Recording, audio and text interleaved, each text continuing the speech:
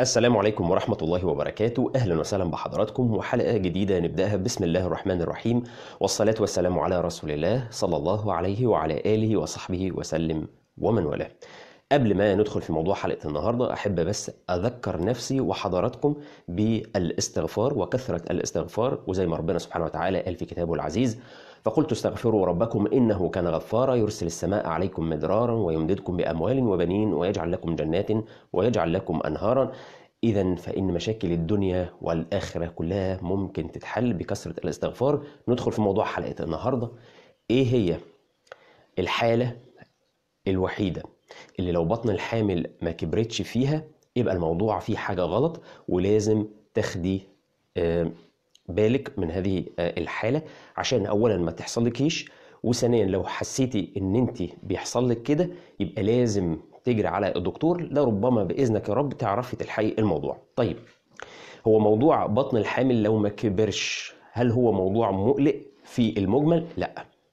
بطن الحامل ما بتظهرش إلا في الشهر الخامس.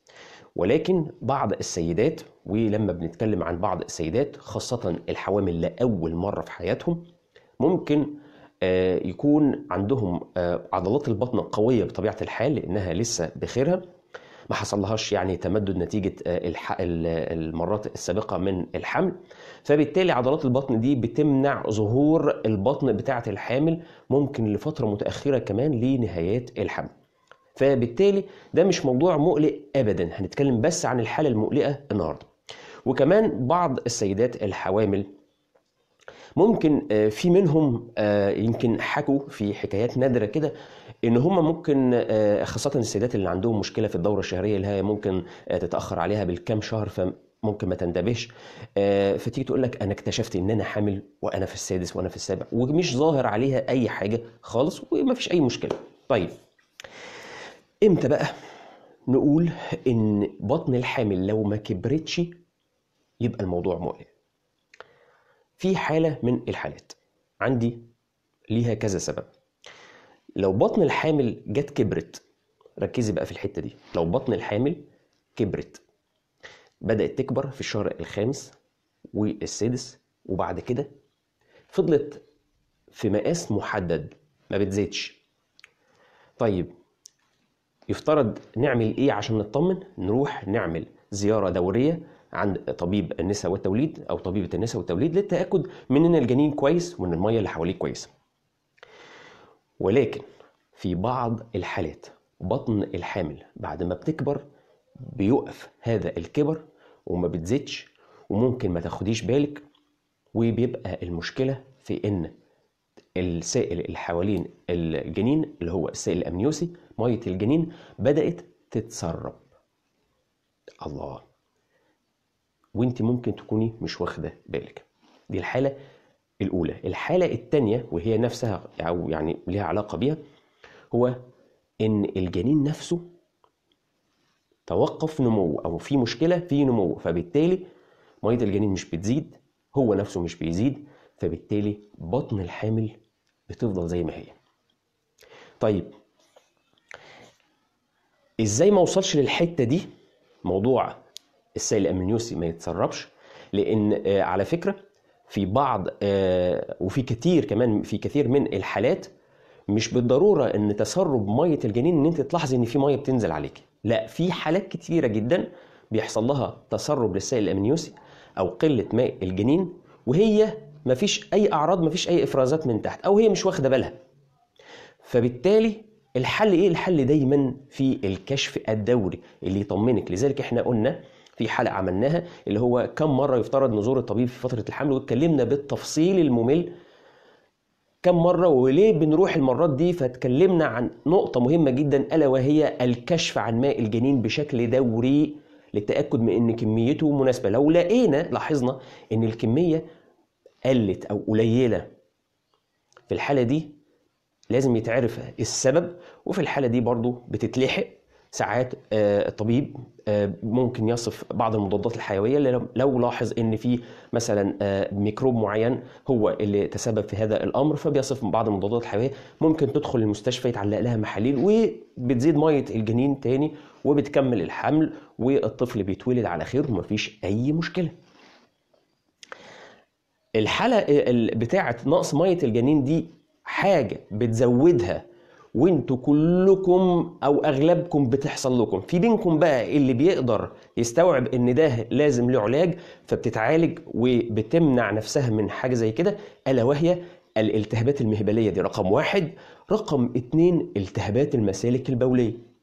الاتنين دول التهابات المهبلية أو التهابات المسالك البولية الاتنين دول ممكن يجي منهم ميكروب يوصل لكيس الحمل ويحدث ثقب فيه ويحدث تسرب للسائل. مية تنقص الجنين مش قادر ينمو بشكل يعني جيد.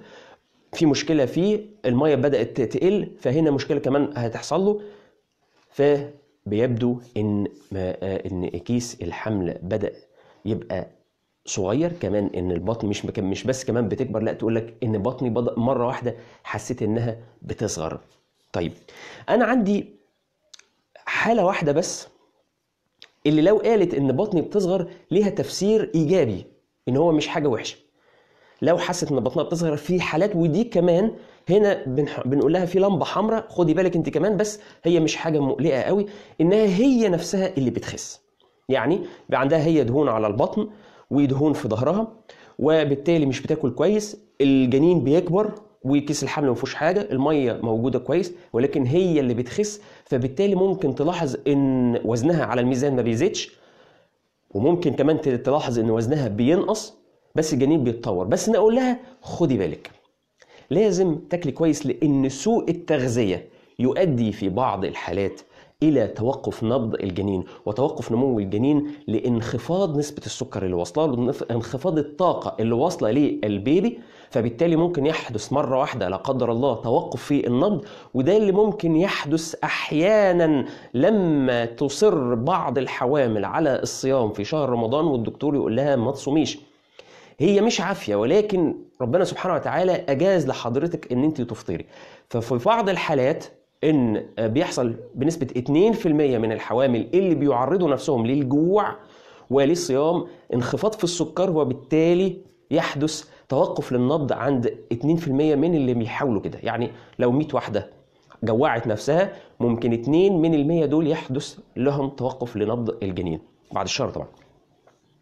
فبنذكر في إن فترة الحمل مفيش رجيم خالص وتهتمي بالتغذية. طيب في حالة تانية برضو بيحصل إن بطن الحامل بتصغر بس مش مقلقة للدرجة اللي هي حكينا عنها إن المية قلت أو النمو بتاع الجنين هو اللي قل ألا وهي إن الجنين نزل في الحوض نزل في منطقة الحوض فبالتالي البطن بتاعت الحامل بدأت إنها تبقى مهوية بقى شوية لإنه وقع تحت كده.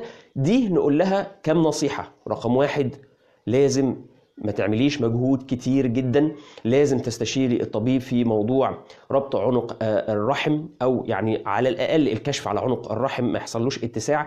واللي بيبقى البيبي بتاعها نازل في الحوض ما توقفش فترة طويلة ما تقعدش فترة طويلة لأن الوقوف لفترة طويلة أو الأعاد الجلوس كمان لفترة طويلة ممكن يحدث توسع في عنق الرحم. فاللي البيبي بتاعها نازل ما تتخضش ممكن تكون في احتياج لجرعات عالية من هرمون البروجسترون أو المثبتات بتاعة الحمل ومهدئات للرحم. الأطباء طبعا هم اللي يصفوا لحضراتكم مهدئات الرحم عشان ما يحصلش تقلصات كتيرة ممكن تؤدي لولادة مبكرة ولا حاجة بس مش حاجة مقلقة كتير جدا بيبقى البيبي نازل في الحوض ومفيش أي مشكلة. يبقى إحنا هنا اختصرنا المشكلة في حاجتين إن مية الجنين تقل ودي بتبقى عائدة إلى عدد من الأسباب أهمها إن يحدث التهابات مهبلية ودي علاماتها إن حضرتك يكون عندك إفرازات لونها خضراء بالأخص دي أكتر حاجة أو صفرة أو بيضة مجبنة ريحتها وحشة. الحاجات دي وانت اهملت في علاجها ممكن يوصل الميكروب لكيس الحمل ممكن يحدث ثقب وممكن يحدث بعد الشر إيه تسرب السائل وانت ما تاخديش في بالك. أو انك عندك سوء تغذية عندك انيميا أو بتمارسي حمية غذائية رجيم فبيحدث ان نقص للطاقة الواصله للبيبي فيحدث له توقف في النمو فبالتالي الطفل ما بينموش فبالتالي بعد ما بتبقى كبرت شوية بتبطل تكبر. ففي الحالات دي لا في حاجة كده غلط ولازم فورا تستشيري طبيبك الخاص.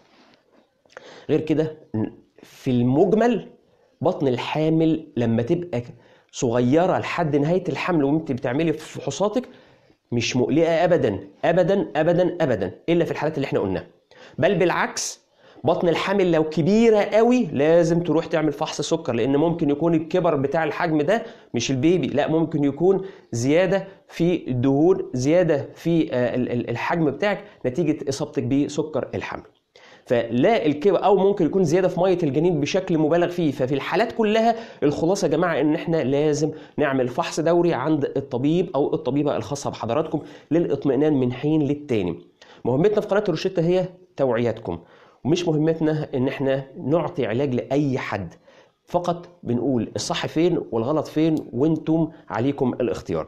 بشكركم شكرا جزيلا. السلام عليكم.